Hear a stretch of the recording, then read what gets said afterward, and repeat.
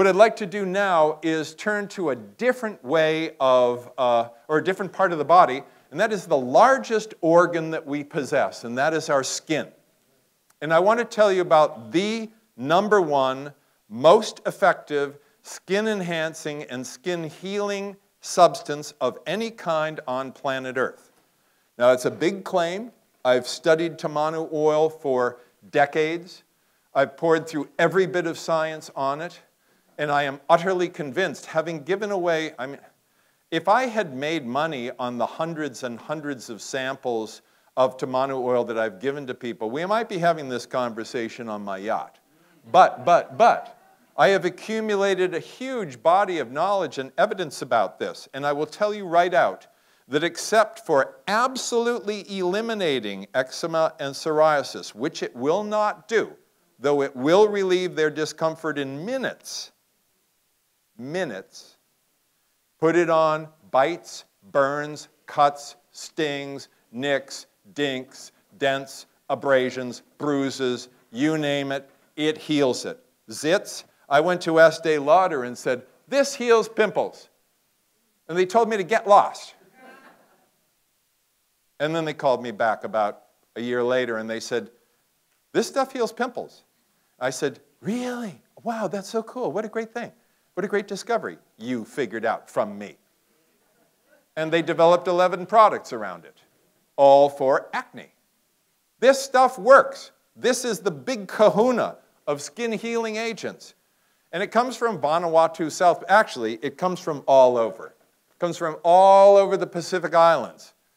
And these tamanu trees grow in coastal areas. They thrive in wet, salty sand, in which most other trees would perish. So this is Vanuatu, South Pacific. You see a very, very, very stressed out environment, heavily industrial. um, beautiful waters. It's got about 100 islands. It's in the middle of the South Pacific. It's got a population of about 275,000 people. It's pretty chill. It's also the epicenter of kava, and we don't really have time for that, but kava is part of the culture and communities of South Pacific, of Pacific Island people.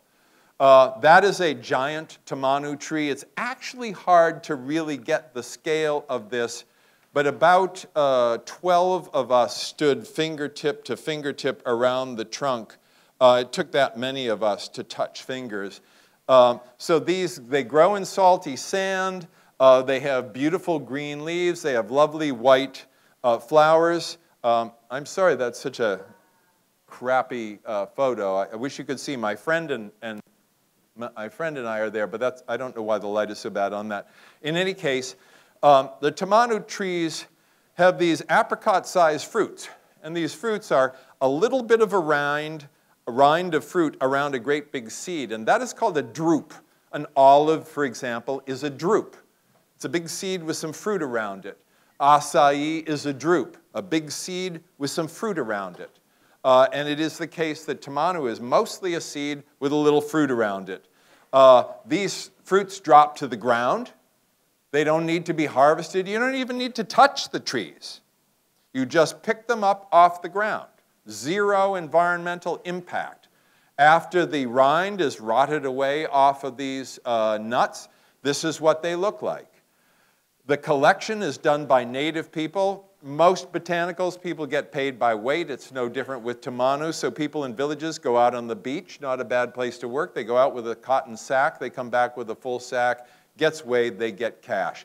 And, and for indigenous native people in native communities, they're not doing one thing, not like, oh, I'm an accountant or I'm a this or that. You know, they're growing some scallions for sale, they're fishing, they're selling some fish, they're collecting tamanu nuts, maybe they're harvesting some kava, maybe they're doing a little bit of construction. People piece together a living from often dozens of different factors over time. So these are the tamanu nuts as they uh, are freshly out of the shell. They're blonde, and here's the crazy thing about them. They don't have much oil in them. You take a fresh tamanu nut and you cut it open, got a little tiny little bit of oil, not so much.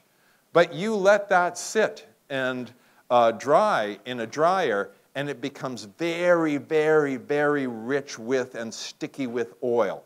Um, we know a lot about the composition of the oil, and we know that it is profoundly anti-inflammatory, which accounts for some of its healing properties, but it's also antibacterial, antifungal, and antiviral. You got toenail fungus, you put tamanu oil on it for a couple of days, you're not going to have toenail fungus.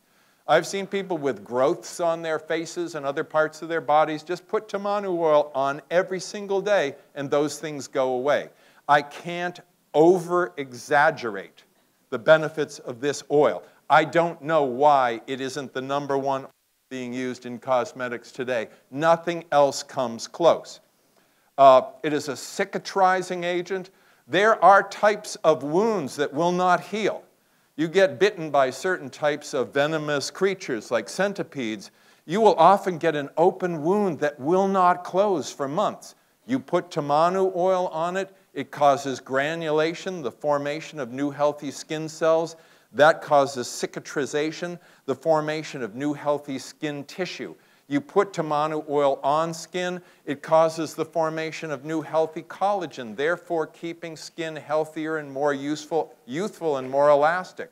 It's great for fine wrinkles, heals acne, reduces scarring, and on and on and on. And I, by the way, I don't make any money on tamanu oil.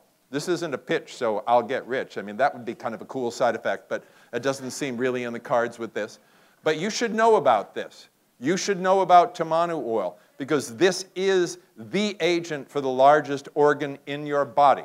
These are tamanu nuts drying in a simple solar dryer. Uh, and they hang out in there for a couple of weeks and then they get this like golden, golden brown, as you can see. And this is when they are rich with oil.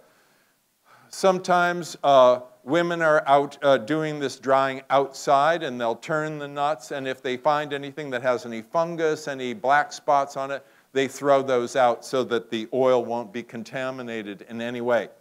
This is the high-tech extraction of tamanu oil.